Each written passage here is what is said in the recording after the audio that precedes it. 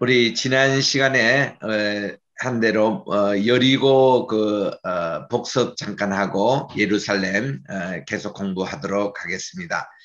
우리 화면에 보시는 이것이 바로 여리고의 옛 도성입니다. 바로 그 여호수아와 갈렙을 중심으로 이제 60만 대군이 이제 그 첫 성인 여리고에 와서 이렇게 참 어, 그들이 모두 13바퀴를 돌았죠.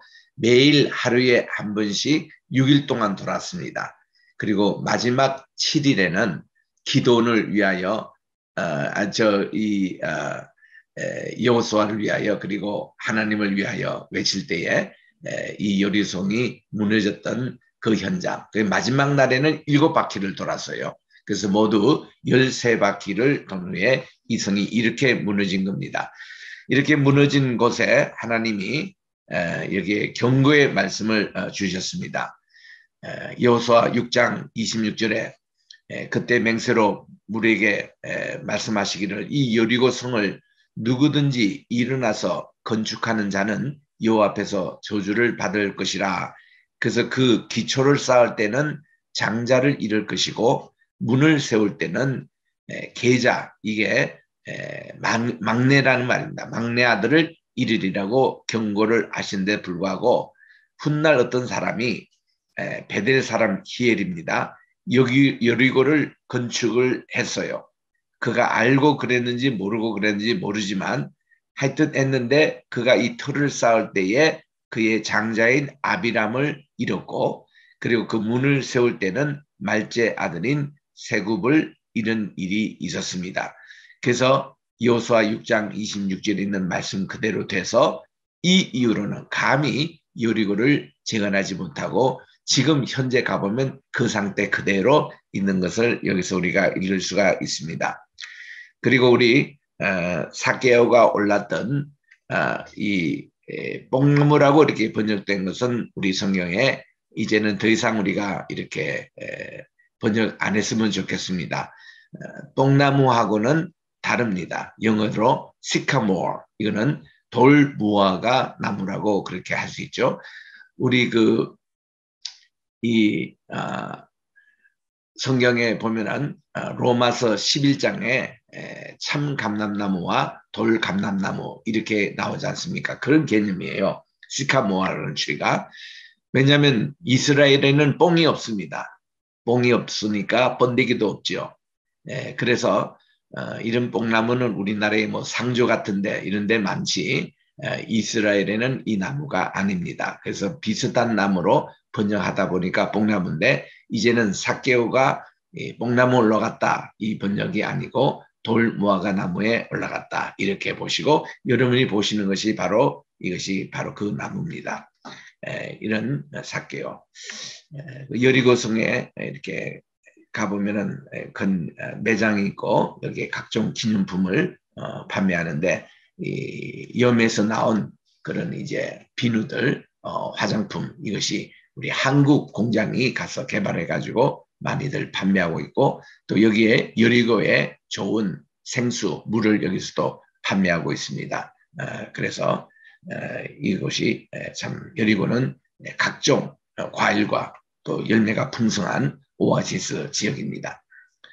그래서 우리 지난 시간에 올리브 어, 산을 이렇게 하는데 여리고에 있는 올리브 어, 갈 때는 벳바게를 만나게 되지요. 예수님께서 여기에서 나귀 새끼를 이제 어, 타시고 어, 예루살렘으로 입성하셨던 바로 그 벳바게 기념교회가 있습니다. 올리브 산을 이렇게 전체 바라보는 전경이고 여기를 이제 기드론 계곡을 건너서 예루살렘으로 입성하는 모습이고 어, 또 올리브 나무가 이렇게 많이 있습니다.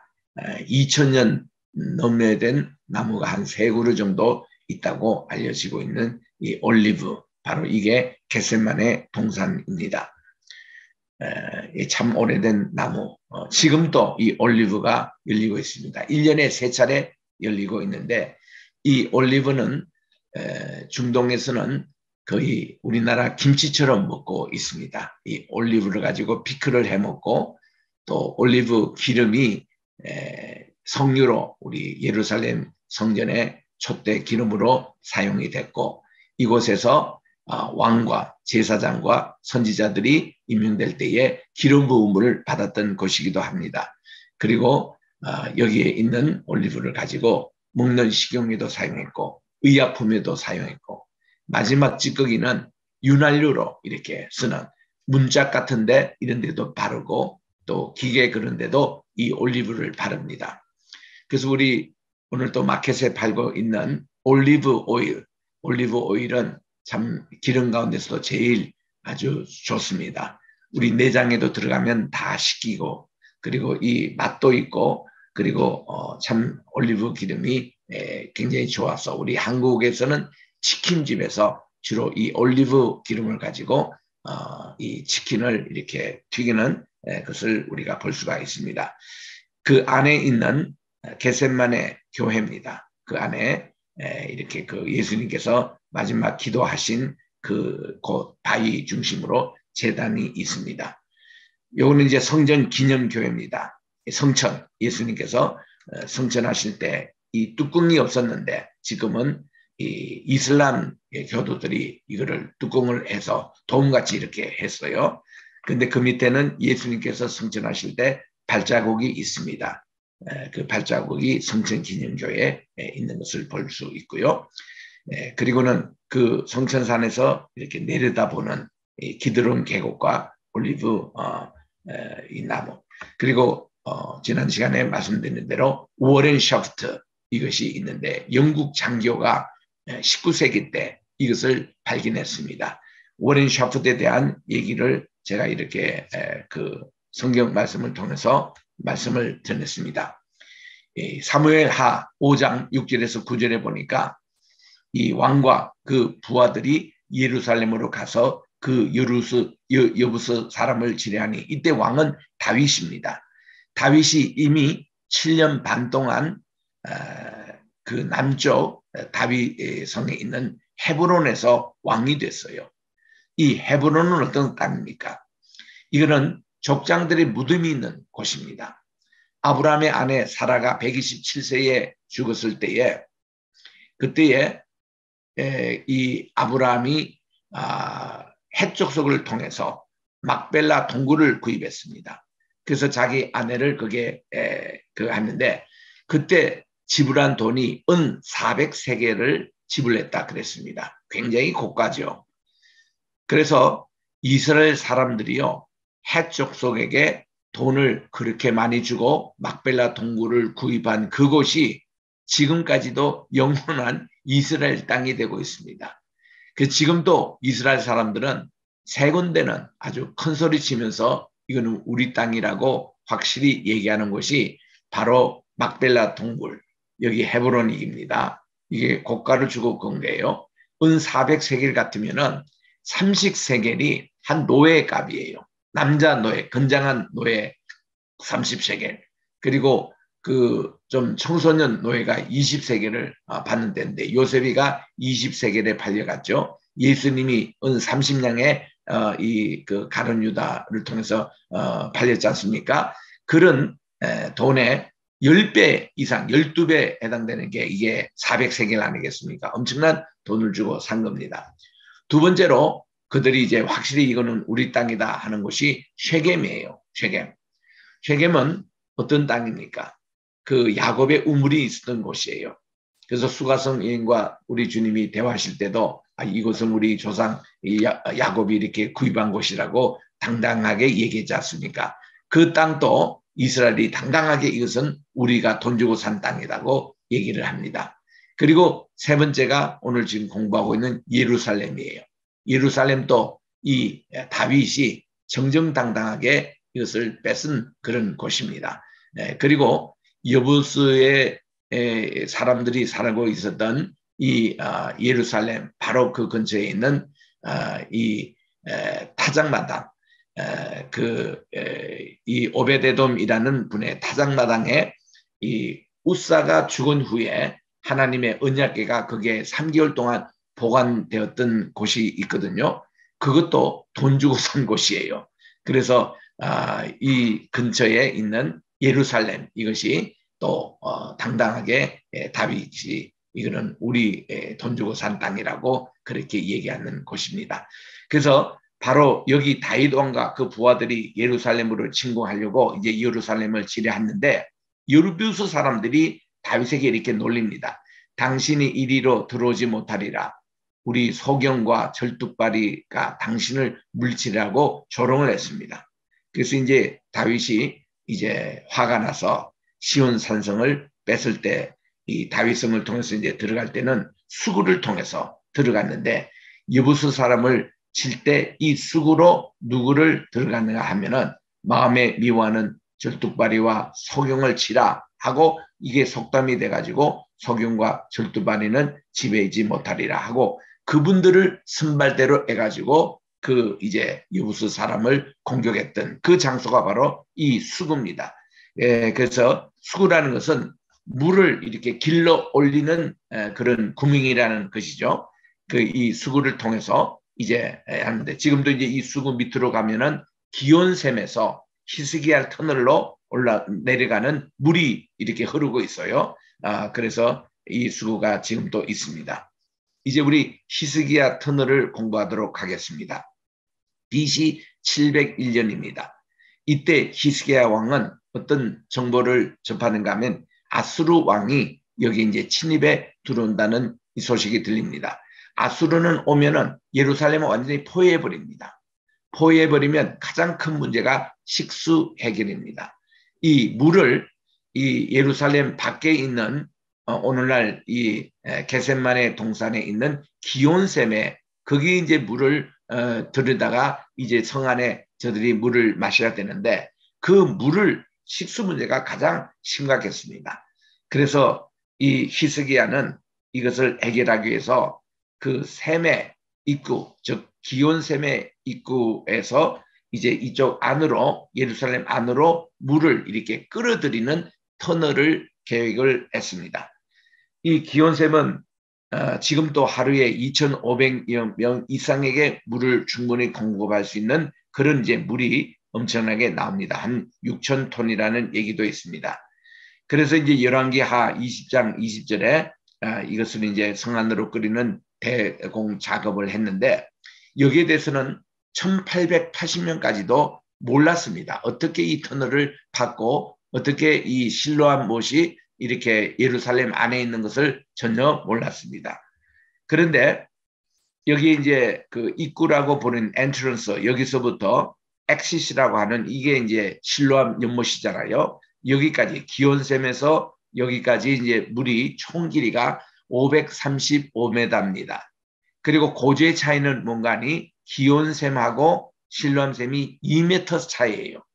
2m 차이에 이것이 이제 천천히 물이 이제 들러오니까 이 어, 지금 또 히스기야 터널을 지나면은 물이 천천히 흘러 예루살렘 성 안으로 실로암 연못으로 들어옵니다. 그래서 이러한 내용을 어, 몰랐는데 1880년에 실로암 근처에서 바로 여기서 이제 그 어, 멱을 감고 있던 한 아이가 팔레스타인 한 아이가 물장난 하다가 넘어졌어요.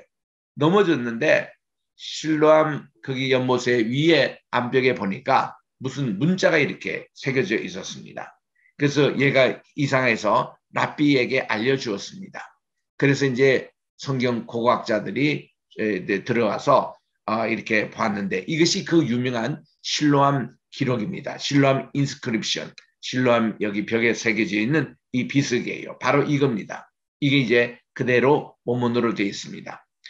여러분이 저는 우리 히브리어 אלף, בית, גימל, דלת, הא, וו, זין, חית, טית, יוד, כף, למד, מם, נון, סמך, עין, פא, צדי, קוף, ריש, שין, תו 이 22자의 알파벳이 지금 여러분들이 우리 쓰고 있는 것이 다 인쇄체입니다. 인쇄체 이 히브리어는 훗날 발달된 겁니다.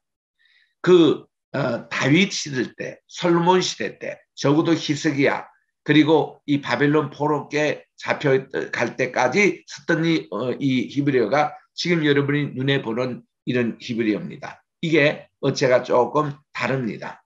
히브리어의 발달사를 어, 제가 이제 하버드에 있을 때는 제 그 논문이 어, 이 알파벳의 발달에 대해서 공부했습니다.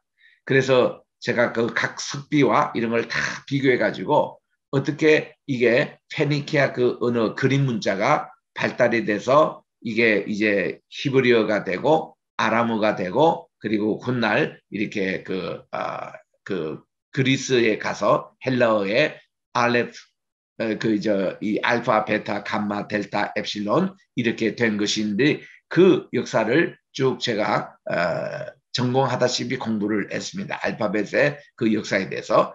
그래서 그 알파벳은 전부 다 그리, 그림 문자예요.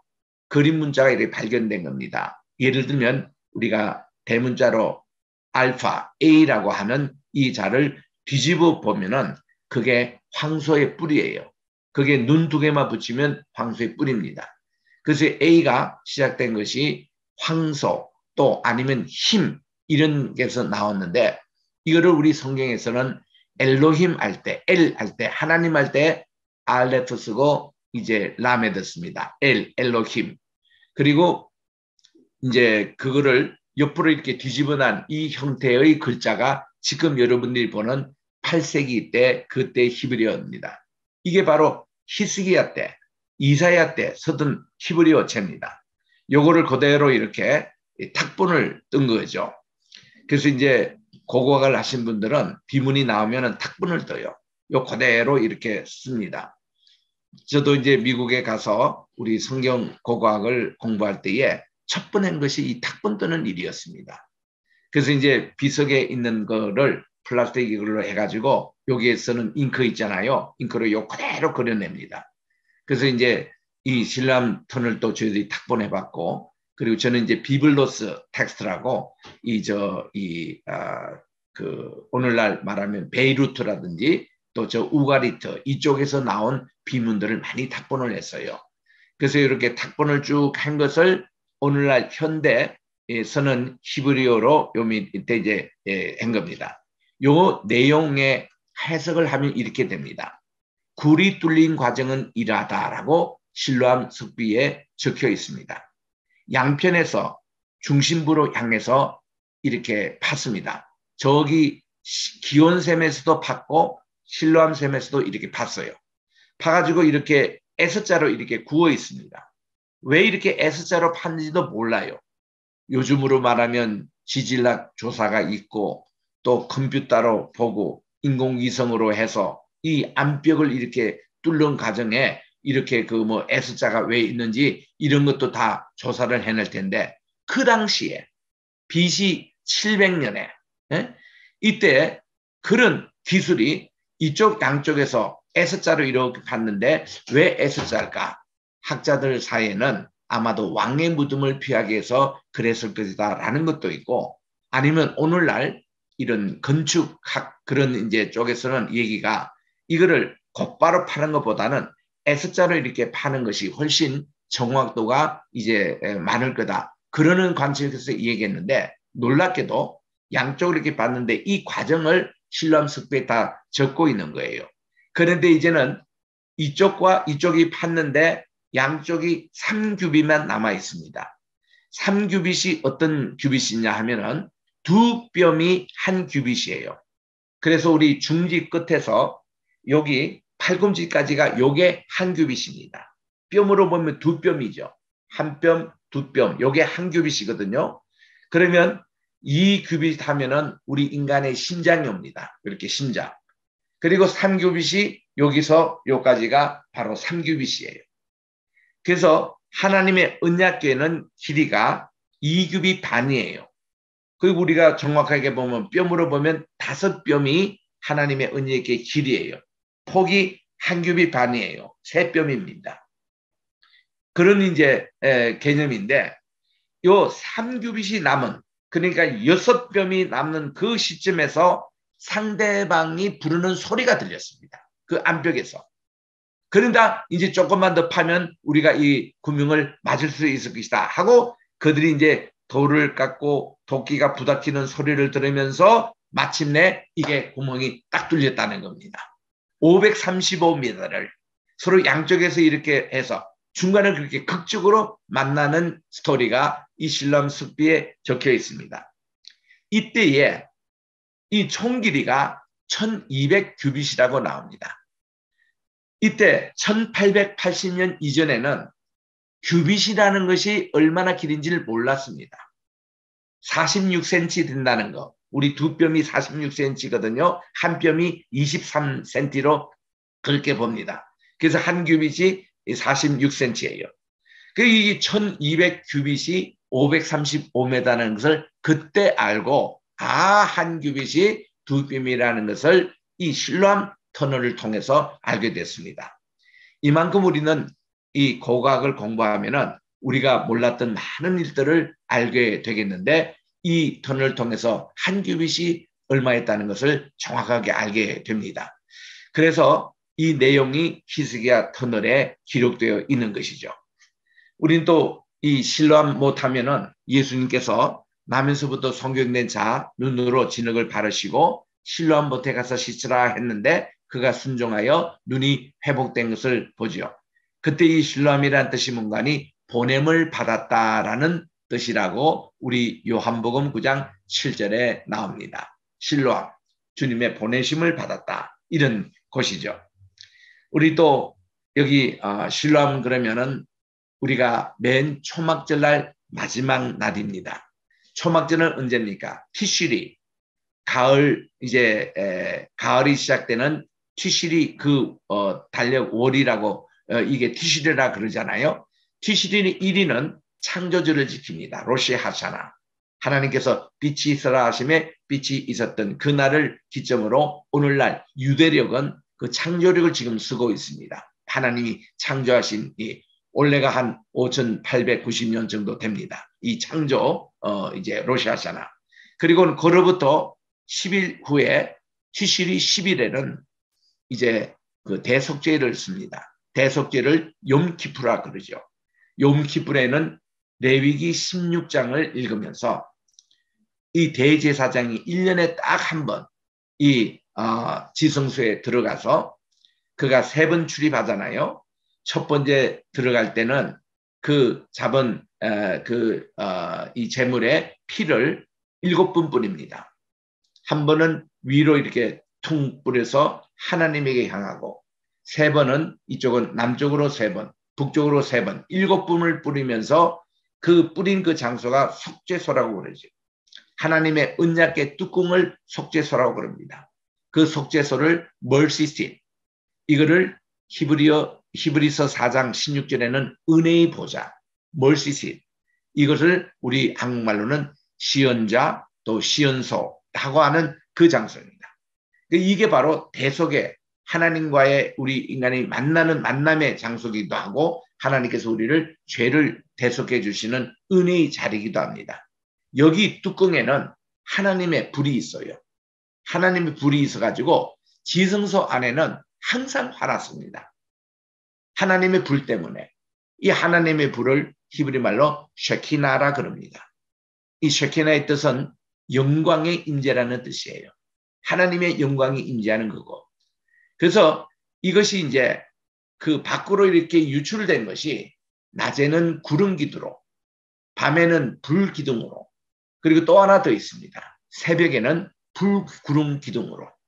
그게 보면 출애굽기 14장 24절에 홍해가 갈라질 때에 새벽에 불 구름 기둥이 있을 때 이때 영어로 보면은 이 어, 기둥을 필러라 그러잖아요. 불은 fire 또 구름은 cloud 그런데 새벽에는 불 기둥이 이제 구름 기둥으로 바뀌는 그 시간이 있습니다. 그때 그 기둥을 불구름 기둥이라 그래요. Pillar of Fire and Cloud. 그 불구름 기둥이 있는 곳이 새벽 시간이에요. 그래서 이 새벽에 모든 일들이 일어납니다. 이 새벽에 엘리 제사장 숨기고 있었던 사무엘이 하나님의 음성을 듣는 시간, 또 야곱이 이스라엘로 변하는 그 시간이 새벽의 시간, 또 이 시간에 마리아가 천사의 가브리엘을 방문을 받고 이제 아기 예수님을 탄생한다는 소식을 듣고 또 요셉이가 이런 비밀을 또 천사를 통해서 듣게 되는 것. 모든 게 이 새벽 시간이에요.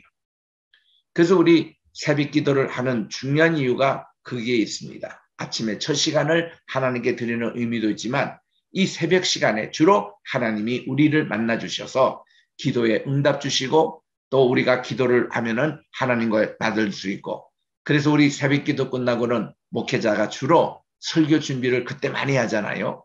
이상근 목사님도 그 친구야 성경 주석을 다 하실 때는 항상 이분이 새벽 기도 가기 전에 한시간 집필하시고 새벽 기도 갔다 오시고 두시간 집필하시고 매일 세시간 집필한 것이 평생 가셨다고 간증도 그렇게 하셨습니다만은 이 새벽 시간이 그렇게 중요한 시간입니다. 그러니까 하나님의 쉐키나 은혜의 보좌에서 나온 이 빛이 이렇게 교체가 되는 불기둥김이 이렇게 교체가 되는 이것을 불구름 기둥이라. 그래서 우리는 기둥이 세 개 있다라는 것을 기억합니다. 그래서 이 은혜의 보좌에 이렇게 하는데 그리고는 이 티실이 그 염키푸르에서 5일이 지납니다. 15일이 돼요. 15일부터는 초막절을 지켜요. 초막절에 있는 것이 다른 이름이 또 초막절이라고도 하고 장막절이라고도 하고 수장절이라고 합니다. 이 세 가지 명칭이 있어요. 다 같은 말입니다. 다 테버너클. 테버너클 이거를 초막, 자막, 수, 장 저는 이제 일종의 그 어, 곡식을 이렇게 저장을 하는 이것을 또 수장절이라 그래서 이제 추수 감사절 그런 개념도 있습니다만은 하여튼 이 초막절을 15일에 시작해서 21일에 끝납니다.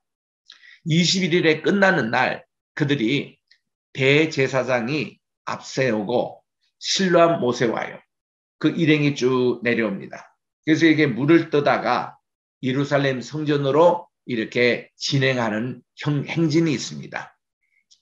이때에 예수님께서는 이 동생들을 먼저 보내놓고는 주님이 좀 늦게 나타나셨어요. 이 초막절.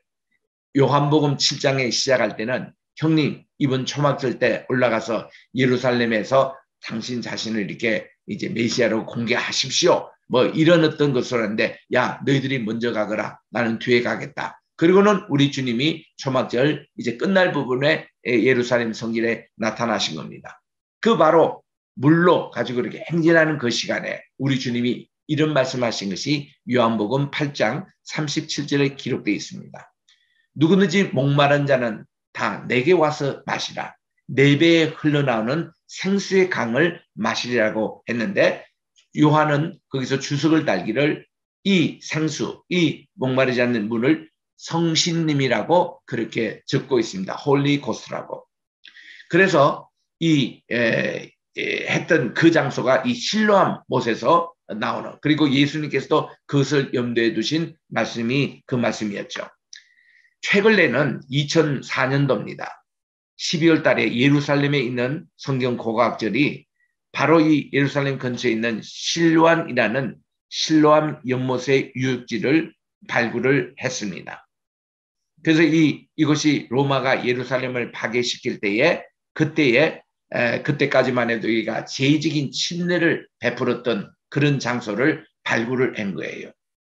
그래서 이런 어, 제의적 그 침례탕 이거 발견된 걸로 예전에 여기서 베드로가 하루에 3천 명씩 이렇게 침례를 주었다 했던 그 탕입니다. 그게 다 이게 이 신란 못이 있기 때문에 이게 신란이라는 그 연결이 돼가지고 이제 그런 어, 탕까지 앤 것이 바로 이 신란 못입니다. 자, 우리 좀 장소를 이정해서 가이사라 빌리보로 지금 왔습니다. 지금 가면 현지 명이 반야스라고 되어 있습니다. 이 가이사라 빌리보는 어떤 지역인가니 그 뒤에 높은 산이 오늘날은 시리아에 속해 있는 헤르몬 산이에요. 헤르몬 산은 이스라엘에서 옛날 성경시대입니다. 이스라엘 땅이었잖아요. 이 헤르몬은 높이가 백두산보다도 한 100m 더 높습니다. 백두산이 2744년 지금은 가면 백두산이요. 좀 낮아져 가지고 2650m입니다. 하여튼 백두산보다 한 100m가 더 높은 것이 헤르몬 산이었습니다. 여기서 예수님이 변모 산상되었다는 산이기도 하죠. 거기는 1년 내내 흰산, 흰 백설이 있습니다. 그래서 늘그 어, 백두산이죠. 이스라엘의 백두산은 헬몬산이고 우리 한국의 백두산은 옛날에 우리 태백산이라고 했던 한박산. 그게 지금 한국에 있는 바로 그 백두산입니다. 두 개 백두산이 있었어요. 이스라엘도 있고 우리나라에도 이스라엘에 있는 이 백두산이 헬몬산입니다. 거기 있는 물이 지하로 이렇게 내려와 가지고 지하에서 이렇게 탁 용성천 이곳을 용천이라 그래요. 용천. 우리 한국에도 함경도에 용천이 있잖아요. 우리 통합적 노예 이름도 용천 노예가 있습니다. 용천이 뭔가니 밑에 지하수가 뿜어 올리는 그런 셈이라는 곳이죠. 그 용천이 바로 이 가이사라 빌리포 지역입니다. 본래가 이 가이사라 빌리포 지역이 아니었어요. 훗날 유대인들이 로마의 황제 이름 가이사라를에게 이거를 바친다 그래가지고 이 가이사라는 이름을 붙였습니다. 그리고 빌립이라는 이름, 히브리어 이름을 이렇게 붙여서 가이사라 빌리포 이렇게 된 겁니다. 이런 것이 가이사라인데 뭐 평양의 출신인 한 장로님이 가이사라 이게 대해서 여기 이스라엘 성지순례 오셔서 농담을 하신 말이 있습니다. 이 가이라는 것은 평양말로 개라는 뜻이거든요. 그리고 사라, 개를 사라 이런 것으로 가이사라 뭐 이렇게 농담으로도 하시는데 그 본래가 카이즈입니다. 카이즈. 이 로마 황제의 친구 이름이었죠. 거기 이제 빌리포 이게 지역인데 지금 현재 가면 이거를 반야서라고 얘기합니다. 이 반야서를 요거 좀 부드러운 발음이고 비는 본래는 핀이 피입니다. 판. 판 신전이 있는 곳이에요. 헤로몬 산에서 물이 이렇게 그 어, 얼음물입니다. 얼마나 차가운지. 그래서 여기서 딱 용천이 이게 가이사라 빌립보 있는 이 물이 얼마나 차가운지 몰라요.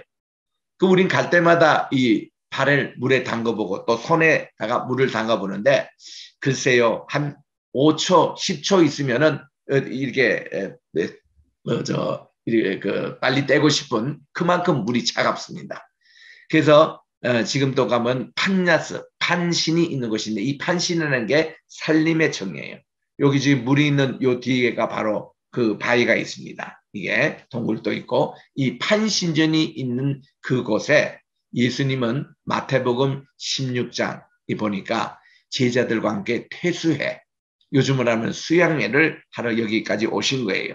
하도 그냥 이스라엘 그 종교 지도자들이 이상한 질문을 하고 괴롭히고 제자들 손 안 씻고 밥 먹는다고 그렇게 잔소리고 그래서 우리 주님이 좀 쉬고 싶으셔서 이제 여기까지 오신 거죠. 그래서 세상 사람들이 나를 누구라 하느냐 그랬더니 뭐 주님을 선지자입니다. 뭐 엘리야입니다. 또 세례 요한이 환신했다고 그럽니다. 이런 이제 대답하는데 너희들은 나를 누구라 할 때 이때 베드로가 정말 이 하나님의 그런 영으로 충만해서 주는 그리스도시요 살아계신 하나님의 아들이시다. 신앙 고백했던 마태복음 16장 16자리 바로 이 자리입니다. 그래서 이 자리에 우리 기념교회당이 하나도 없었는데 우리 한국교회가 특별히 그 그때 광림교회 김순도 목사님이 오셔가지고 여기에 좀 기능교회를 하나 짓고 싶다 그런 말씀을 하기는 했습니다만은 그 후에 기념교회 지었다는 얘기는 지금도 없습니다. 그래서 여기는 좀 한국교회가 좀 신경 쓰고 이 베드로의 신앙 고백이 있었던 그곳인데 요단강의 시작이에요 이게. 그래서부터 이 요단강이 쭉 내리는데 요단강 뜻은 본래 요단강으로 읽지 마시고 요르단으로 읽으십시오. 요르단이 정확한 발음입니다. 요르라는 뜻은 흐른다라는 뜻이에요. 단은 뭔가니 단지파입니다. 이 땅이 본래 단지파 땅이었어요. 그 단지파의 땅에서부터 쭉 이렇게 흘러내린다고 해서 요르단 이랬거든요. 요르단. 우리 이번에 다섯 번째 손자가 태어났는데 걔 이름이 요르단이에요. 조르단. 그래서 이거 아주 어, 요단강이 이스라엘 쓰는 생명의 첫 줄이죠. 지금은 가면 이스라엘과 요르단이 이렇게 그 국경을 이루고 있는 네, 곳입니다. 이게 요르단입니다. 요단강보다는 요르단강이 정확한 발음이고 그래서 이게 요르단은 여기 이 가이사라 빌리보 여기부터 시작해서 염해까지 이렇게 흐르는 곳인데 직선거리는 100km입니다. 아, 직선거리. 그런데 이게 꾸불꾸불 사해청을 이렇게 해서 실제 거리는 197km로 이렇게 흐르고 있습니다. 이게 요르단입니다. 그 요르단 발원지가 가이사라 필리포입니다. 그래서 이렇게 내려오다가 보면은 이스라엘의 이 서부 지역에 해안 평원이 있어요. 세 개 있죠. 블레셋 평야가 있습니다. 샤론 평야가 있습니다. 오늘날 텔라비브 그 중심으로 샤론 평야가 있어요. 그리고 이게 쭉 가서 악고라는 곳에 있는데 이 악고는 오늘날 하이파 있는 도시 북쪽부터 이거를 악고 평야라 그럽니다. 세계 해안 평야가 있는 곳으로 얼마나 땅이 비옥합니까? 우리나라의 김제 평야처럼 굉장히 이게 비옥합니다.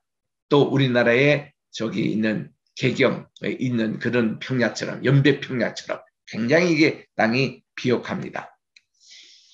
요게 그 이제 해안 평야에서 그 다음 땅을 뭐라고 그러냐면 셰펠라 지역이라 그럽니다.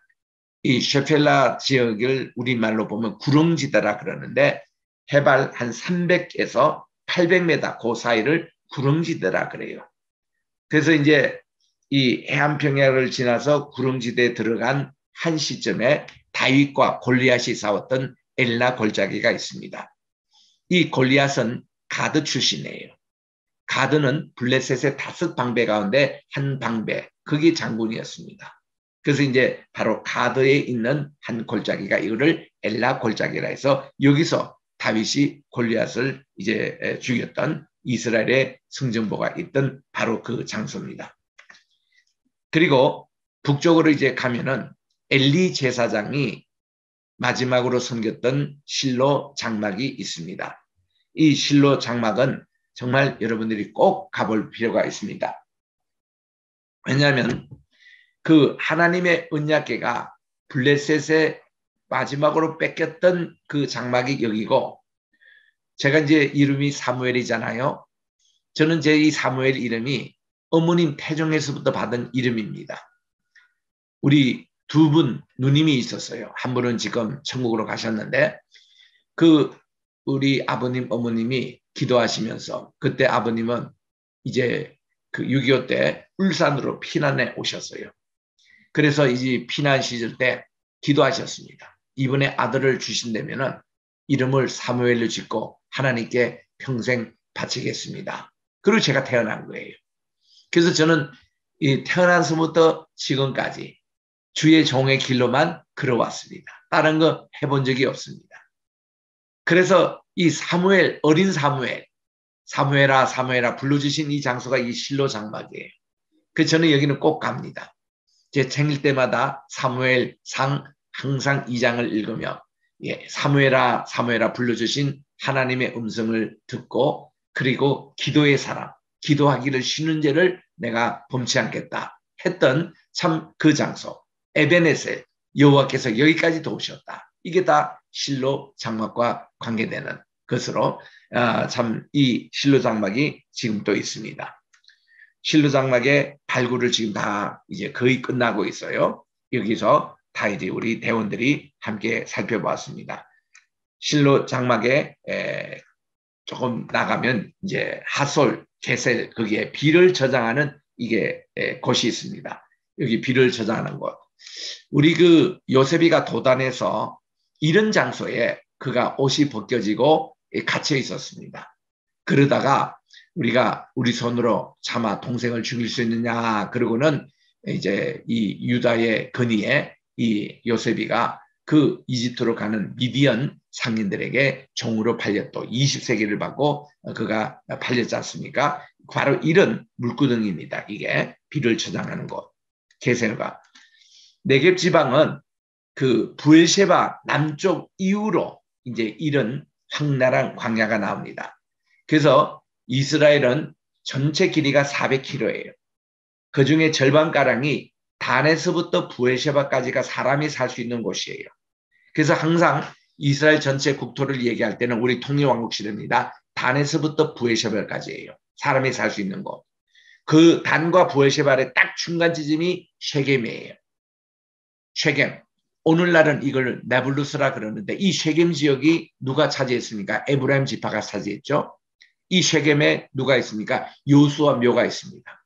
또 요셉이 총리 대신했던 이 요셉이가 해골을 계속 가지고 와서 요수와 장군이 이제 죽었던 그 해에 그다음 요셉의 묘가 이 애가 여기 이제 그 장사가 됩니다. 그 쉐겜에 가보면은 요수와 장군의 묘도 있고 또 요셉의 묘도 있고 바로 이 장소 보이는 곳이 야곱의 우물이 있고 이 우물에 앉아서 우리 주님이 수가성 여인과 대화를 하고 있는데 그때 이 너머에는 이 에브라임 지파의 땅이어서 중심 지역에서 여기에 그 요사 장군의 묘도 보이고 요셉의 묘도 보이는 곳이 바로 이 수가성 여인이 만났던 야곱의 우물이에요. 그리고 그것을 뒤로 이렇게 보면은 두 산이 있습니다. 북쪽에 있는 에발산이 있어요. 남쪽에는 그림신산이 있어요. 그래서 모세가 요수와 장군에게 너희가 가나안 땅을 정복하고 쉐겜에 가거든 여섯 지파씩 이렇게 줄을 서서 하나님 말씀에 불순종하는 자에게는 에발처럼 이렇게 저주를 임하이라. 지금도 에발에 가면은 이 산에 나무가 없는 민둥산입니다.